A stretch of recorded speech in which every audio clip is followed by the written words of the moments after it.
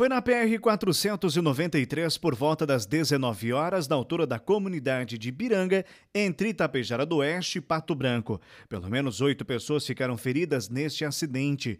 As vítimas ocupavam uma Fiat Toro e também um Honda City.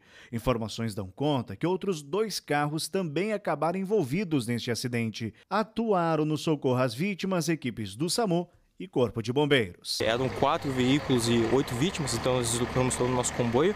Aqui no local nós identificamos três veículos, um deles com danos de média monta. É, não achamos um quarto veículo, possivelmente ele evadiu-se do, do, local, mas a gente aproveita para comentar aqui a questão, é, questão principalmente com relação a essa estrada aqui que leva para Itapejada, é para não abusar da velocidade, especialmente nesse período noturno, em que é, fica mais difícil de ver os detalhes da pista, ver objetos e até mesmo outros carros que estão no, no trajeto.